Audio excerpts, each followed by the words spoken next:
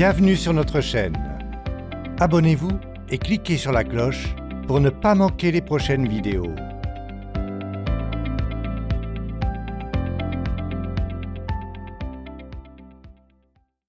Quatre bonnes habitudes de travail pour prévenir la fatigue et le stress. Bonne habitude de travail numéro 1. Débarrassez votre bureau de tous les papiers qui ne concernent pas le problème en cours. Roland L. Williams, président du Chicago and Northwestern Railway, des chemins de fer de Chicago, déclara un jour Une personne dont le bureau est jonché de papiers traitant de problèmes variés travaillera plus facilement et plus précisément s'il débarrasse son bureau de tout ce qui n'a pas trait au problème en cours. Ranger son bureau est le premier pas vers l'efficacité. Si vous visitez la bibliothèque du Congrès à Washington, D.C., vous y verrez ces mots peints au plafond et empruntés au poète Alexander Pope. L'ordre est la première loi du ciel. L'ordre devrait toujours être la première loi des affaires aussi. Est-ce le cas?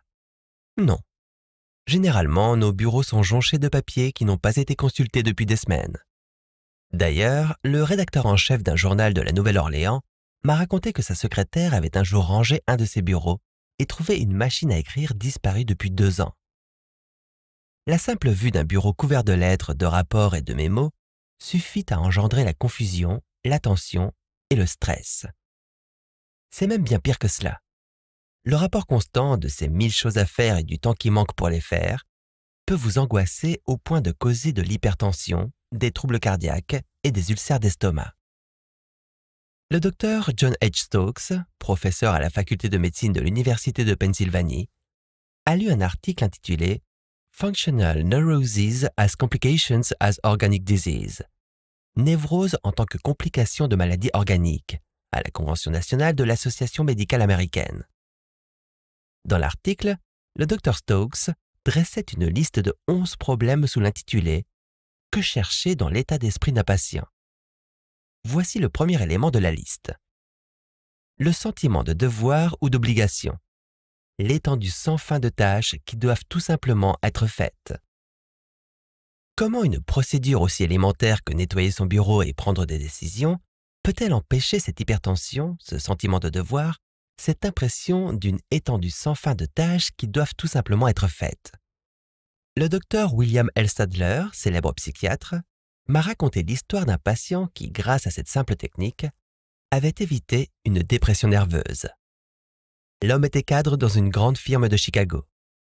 Lorsqu'il vint trouver le docteur Sadler, il était tendu, nerveux, stressé. Il savait qu'il courait tout droit à la dépression, mais qu'il ne pouvait pas abandonner son travail. Il devait se faire aider. Pendant que cet homme me racontait son histoire, dit le docteur Sadler, mon téléphone sonna. C'était un appel de l'hôpital. Au lieu de repousser le problème, je pris le temps qu'il fallait pour prendre une décision. Je règle toujours les problèmes sur le champ, si c'est possible. Juste alors que je raccrochais, le téléphone se remit à sonner. De nouveau une urgence que je pris le temps de discuter. Nous fûmes interrompus une troisième fois quand un de mes confrères entra dans mon bureau pour me demander conseil au sujet d'un patient dans un état critique. Lorsque j'eus terminé avec lui, je me retournai vers mon patient et commençai à m'excuser de l'avoir fait attendre. Mais il s'était déridé.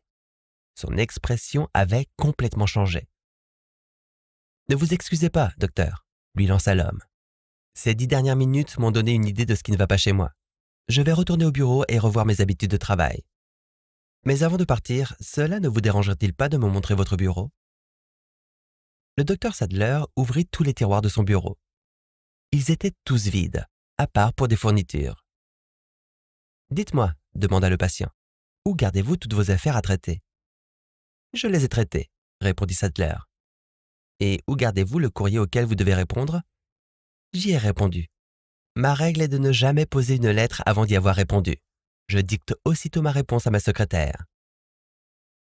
Six semaines plus tard, le cadre demanda au docteur Sadler de lui rendre visite. Il était transformé, ainsi que son bureau. Il ouvrit ses tiroirs pour montrer qu'il n'y avait plus d'affaires à traiter à l'intérieur. Il y a six semaines, j'avais trois bureaux dans deux pièces et je croulais sous le travail. Cela ne s'arrêtait jamais.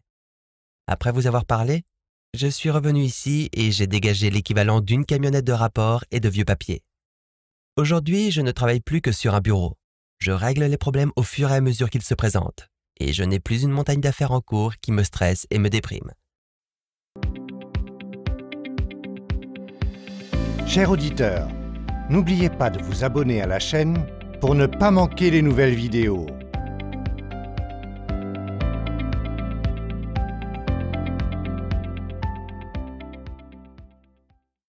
Mais la chose la plus étonnante est que je suis complètement rétabli. Je n'ai plus de problème de santé. Charles Evans Hughes, ancien président de la Cour suprême des États-Unis, a dit Les hommes ne meurent pas de surmenage, ils meurent de dispersion et de stress. Oui, de la dispersion de leur énergie et du stress car ils ne semblent jamais venir à bout de leur travail. Bonne habitude de travail numéro 2, effectuez vos tâches par ordre d'importance. Henry L. Fondateur de l'entreprise nationale City Service Company, disait que, indépendamment du salaire qu'il offrait, il lui était presque impossible de trouver deux aptitudes fondamentales chez les candidats. Ces deux aptitudes inestimables La première, la capacité de réfléchir. La deuxième, la capacité de faire les choses par ordre d'importance. Charles Luckman, un jeune homme qui, parti de zéro, gravit en 12 ans les échelons jusqu'à la présidence de la Pepsodent Company, touchait un salaire de 100 000 dollars par an et gagnait des millions de dollars sur le côté, déclara qu'il devait en grande partie son succès au développement de ces deux aptitudes que Henry L. Doherty considérait comme pratiquement impossibles à trouver. D'aussi loin que je me souvienne, je me lève à 5 heures du matin parce que c'est l'heure à laquelle je réfléchis le mieux qu'à tout autre moment de la journée. Je peux réfléchir et planifier ma journée, prévoir de faire les choses dans l'ordre de leur importance. Frank Betcher, un des courtiers en assurance les plus brillants d'Amérique, n'attendait pas 5 heures du matin pour planifier sa journée. Il la planifiait la veille. Il se fixait un objectif, celui de vendre un certain nombre d'assurances ce jour-là. S'il n'y parvenait pas, le reste était ajouté au lendemain, et ainsi de suite. Je sais d'expérience que l'on n'est pas toujours capable de faire les choses dans l'ordre de leur importance mais je sais également qu'avoir prévu de traiter les tâches prioritaires en premier est infiniment mieux que d'improviser sur le tas. Si George Bernard Shaw n'avait pas suivi cette règle stricte de traiter les tâches prioritaires en premier, il aurait sans doute échoué en tant qu'écrivain et serait resté employé de banque toute sa vie. Il s'était donné comme objectif d'écrire cinq pages par jour, ce qui le motiva à écrire pendant neuf années éprouvantes, même s'il n'y gagna que 30 dollars, environ un penny par jour. Même Robinson Crusoe écrivait un horaire de ce qu'il ferait chaque heure de la journée. Bonne habitude de travail numéro 3. Confronté à un problème, résolvez-le tout de suite si vous possédez les éléments nécessaires pour parvenir à une décision. Cessez de reporter vos décisions. Un de mes anciens étudiants, H.P. Howell, me confia que lorsqu'il était membre du conseil d'administration d'US Steel, les réunions du comité s'éternisaient souvent pendant des heures. De nombreux problèmes étaient abordés. Peu de décisions étaient prises. Résultat, chaque membre du comité ramenait chez lui quantité de rapports à étudier. En fin de compte, M. Howell persuada le conseil d'administration de prendre un problème à la fois et de parvenir à une décision. Plus de procrastination ni de remise à plus tard. La décision pouvait être de rassembler des informations complémentaires, elle pouvait être d'agir ou de ne rien faire. Mais une décision devait être prise concernant chaque problème avant de passer au suivant. M. Howell me confia que les résultats furent à la fois stupéfiants et salutaires. L'agenda était dégagé.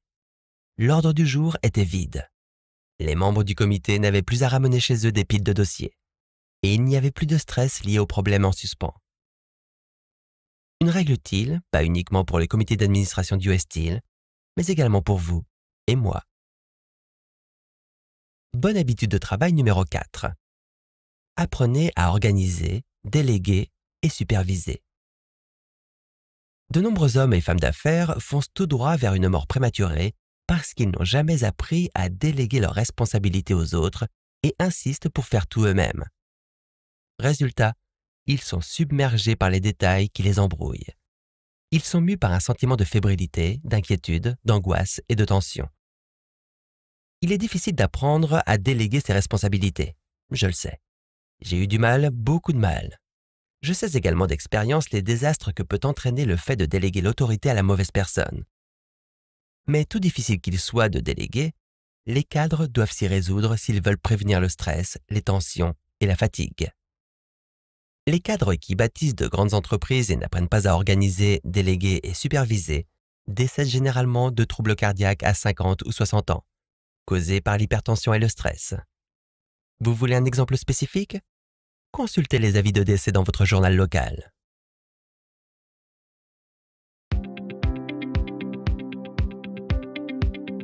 Nous espérons que vous avez aimé la vidéo. Vous pouvez écouter la version intégrale du livre en suivant le lien dans la description.